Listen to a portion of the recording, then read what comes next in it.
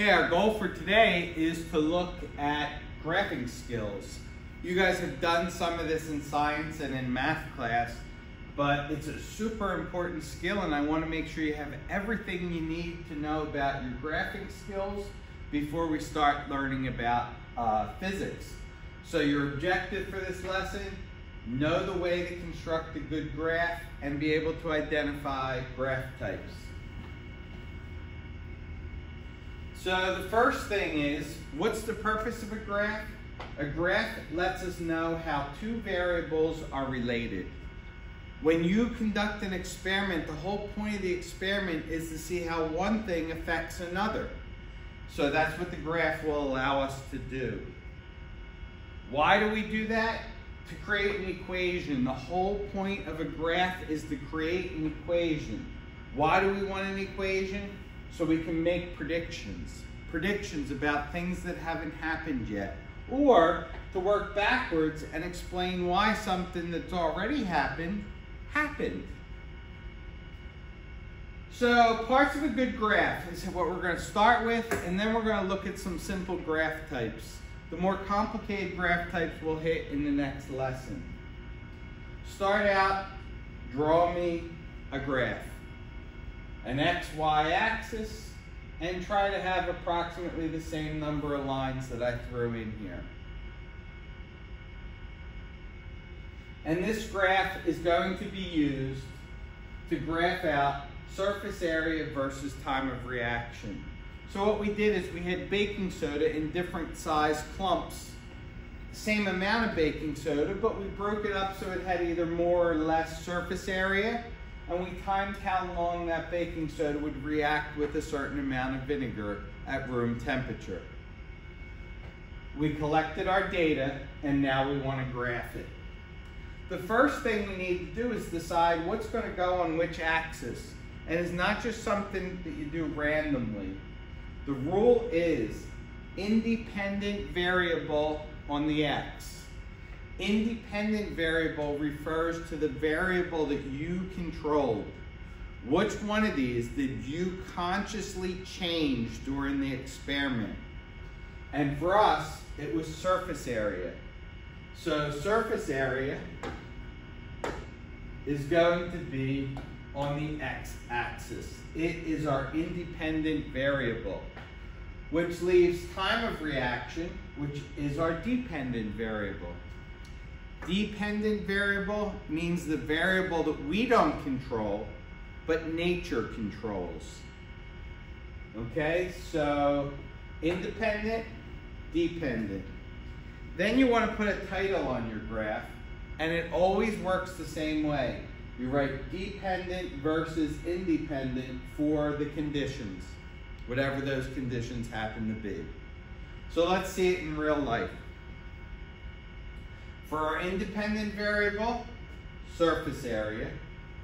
For the uh, dependent variable, that's our time of reaction. And then the title would be reaction time versus surface area. The conditions are for 10 grams of baking soda at 25 degrees. Okay, so this lets the person know viewing the graph, the conditions, and what it is we're plotting it's always y versus x, dependent versus independent. Your next step is to figure out the scale so you can fit all your numbers on the graph. Find the highest number on the x, which is 9.8. Count up your number of things, 1, 2, 3, 4, 5, 6. Make sure that the 9.8 makes it at least to the halfway point. You don't need to have the 9.8 all the way at the right, but don't have it so close to the origin that it doesn't at least get to the halfway point. Probably a number that makes the most sense would be to have your 10 appear right here. And that happens by having each of these blocks worth 2. So it's 0, 2, 4, 6, 8, 10. And not that we need it, but we could put a 12 there if we wanted. Most times you're going to start at 0. We're going to start at 0 for the y. We're going to find our highest y value, which is around 16. We're going to count them up.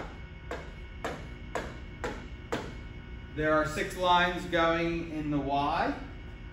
So again, we got to have 16, make it at least to the halfway point, and probably the smartest thing to do here would be to have 18 at the top, which would make each of these worth 3. 3, 6, 9, 12, 15, 18, and then our 16 is somewhere in this area up here. Okay? So this is how we set up our graph.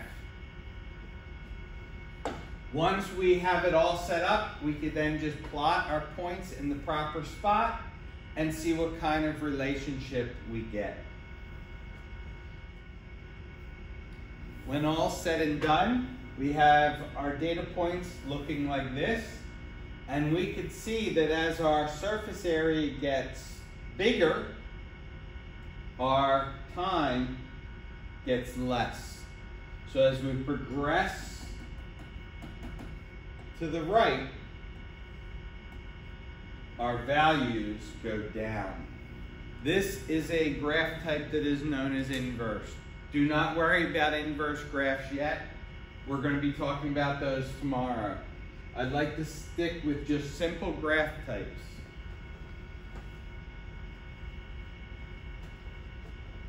So for today, two that you have to worry about. The first type is called a linear graph. A linear graph is where the points go upward at a constant rate. So every time you move over five blocks this way, you go up about two and a half blocks on the Y. It goes up at a constant rate. The rate at which it climbs is called the slope. The B is called your y-intercept. It's the spot where it hits the y-axis. So then you'd have y equals mx plus b. The m is the slope and the B is the intercept. Now in real life, do not call it Y. Whatever is on the Y-axis should go in this spot. Whatever's in the X-axis, that should go in where the X is. So the X and the Y are placeholders for the values on your graph. Sometimes you have, in fact, this is a very common graph. Sometimes you have a linear graph that actually goes through the origin, and then it's not called linear anymore. You call it proportional, and it's just y equals mx. The y-intercept is zero, so it is not needed. So you have your slope and your y and your x value. One special property of a proportional graph that you should know is that if you double your x value, it will double the y value. That is true for proportional. It is not true for linear. This is the more common uh, type of graph. Okay, doubling the x doubles the y. Tomorrow, we're going to talk about some more complicated graph types. But for today, I want to make sure you guys know how to set up a graph and be able to identify some simple things about linear and proportional graphs.